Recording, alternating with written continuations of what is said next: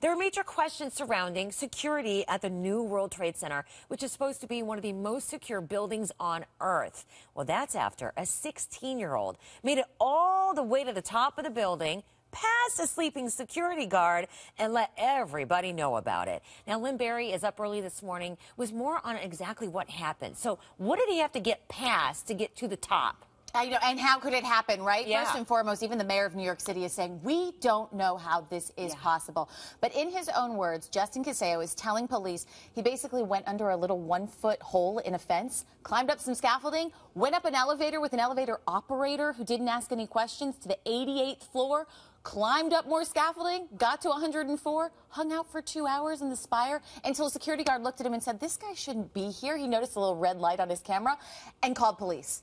How could something like this, the layers of security, Right. and you mentioned that sleeping security guard, he's now out of a job. So, okay, so who is the 16 year old? And I mean, were they up to no good or was it to try to prove something? Yeah, you know, that's the, what his friends are saying. He was a daredevil. He was an adventurous kid. He did a lot of this park parkour thing, por- parkour thing. I'm learning too. Uh, but like we I do know with, what that I know, is. Okay. like- with most teens, we're learning about them on Facebook and Twitter, right? So he's just this adventurous kid. He's not a wolf in sheep's clothing, but now he's charged with trespassing, and that's the headline here. So, for his part, what did he have to say for himself? Anything? You know, he's not speaking to the media right now. He's going to high school like he normally would. He's going to appear in court next week, but he's not explaining himself.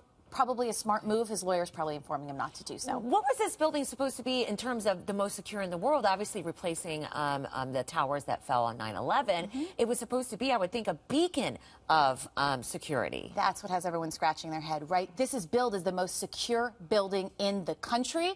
Layers of security is normally how we see it. All of those failed. A sleeping security guard, you don't hear about that. That's for the movies. That this is this is a 16-year-old kid that was able to slip through the cracks. The bad guys out there, you would hope that they're not watching something like that. You would hope that this never happens again and could not possibly happen again. So, in some respects, you almost want to thank the 16 year old. Lynn Berry, thank you.